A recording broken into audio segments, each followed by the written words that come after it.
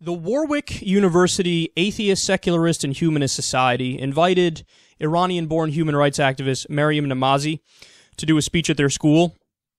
And the response from the student union has created some controversy, and it's quite disheartening. So, Maryam is a political leftist, and she does a bunch of refugee work, and she promotes human rights and secularism around the world. Uh, but she was declined.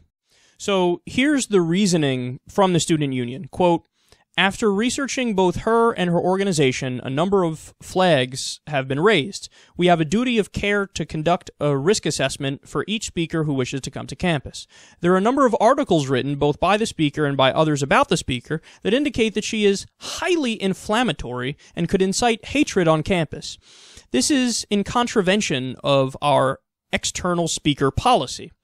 And then they go through a list here. They say speakers must not incite hatred, violence, or call for the breaking of the law, are not permitted to encourage, glorify, or promote any acts of terrorism, including individuals, groups, or organizations that support such acts, must not spread hatred and intolerance in the community and thus aid in disrupting social and community harmony, must seek to avoid insulting other faiths or groups within a framework of positive debate and challenge, are not permitted to raise or gather funds for any external organization or cause without express permission of the of the trustees. And they say, in addition to this, there are concerns that if we place conditions on her attendance, such as making it a member only event and having security in attendance, asking for a transcript of what she intends to say, recording the speech, that she will refuse to abide by these terms. All right, so uh, her main uh, focus is basically to promote secularism at the speech and to counter the Islamist narrative. So to counter the people who want to implement political Islam through allegedly peaceful means. The difference between a jihadist and an Islamist is that jihadists by force want to impose Sharia and implement Sharia. And Islamists want to, as the saying goes, use democracy against itself to uh, implement Sharia, not necessarily by killing people, but by setting up a system of Islamic law within uh, the confines of the government and as it's functioning right now, wherever the government might be. So that's her main thing. She promotes secular values, she promotes liberal values. When you go into her personal story, you see that she fled Iran during the revolution and she's, you know, been promoting these different things her entire life.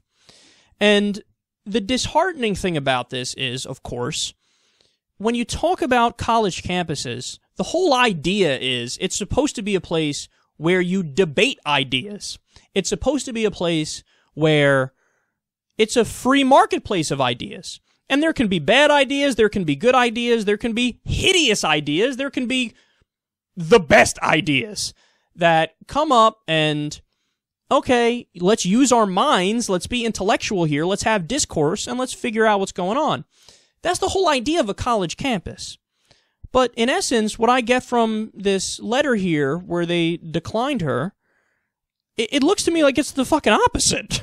They're like, okay, uh, you have freedom of speech to say what we want you to say. Here are the list of requirements. Now, again, some people might say, well, when you look at the particular arguments that this person made about X, Y, and Z, that's not a good argument. Okay, have a follow up speaker that disagrees on parts. Guys, you don't get it. Like, uh, what I'm saying here is almost, I don't care what anybody's advocating. Should they have a chance to advocate it no matter what it is? Yes! Ken Ham, who's a fucking creationist, who's wrong about basically everything ever. Should that guy, uh, you know, come to any university and give a speech and lay out his case? Sure, why not? And then guess what? Part and parcel of freedom is after he lays out his utterly ridiculous false ideas, the students get to mock him, the students get to berate him in the questioning session, or you have Bill Nye come afterwards and lay out exactly why the guy's wrong, and then you move along.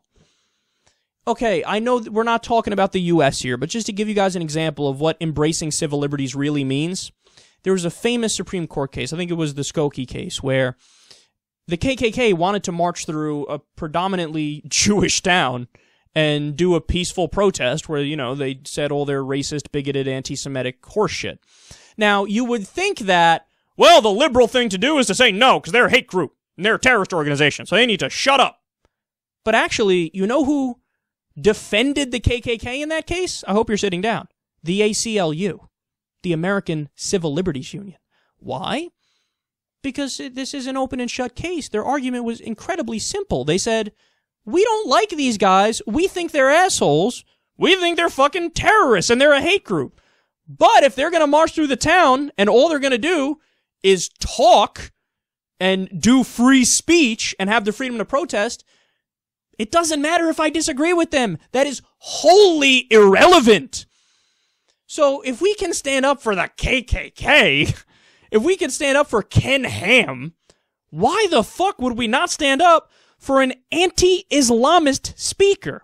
Now, I know nothing about the way she frames her arguments, and some people might say, well, she generalizes too much about Muslims.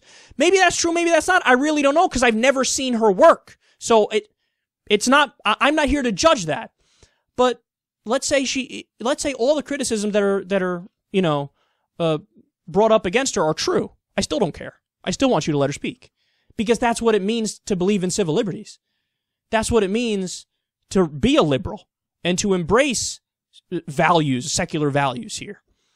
So it doesn't, the point is, it doesn't make you more liberal. It doesn't make you, you know, a better person to say, I disagree with this person, I will shut them down because I don't want them generalizing about this group or that group. No, that makes you basically an authoritarian. I mean, I, I don't like it. I'm going to silence it and then, by the way, after the fact, they came up with all types of bullshit rationalization arguments like, well, we didn't say that she couldn't speak here. Th- there's another process that has to go through before we figure out whether or not she can speak here. Blah, blah, blah, Fucking let her speak, man. Let her speak. And then if you want to have somebody follow up to counter her narrative, go right ahead. Now, and on this one, people probably disagree with me, but if, if you want a fucking Islamist to come counter her narrative, go ahead. Because guess what? I'm one of those people who actually believes that you can say whatever the fuck you want to say because let's say you are an Islamist and you lay out a case to implement political Islam, well, then I, I'll crush your arguments because your arguments suck and your ideas suck. And that's the way that this works. So enough coddling of the students and being super PC and trying to offend nobody. The whole idea of of uh, believing in civil liberties and being liberal is the opposite of what you guys think it is.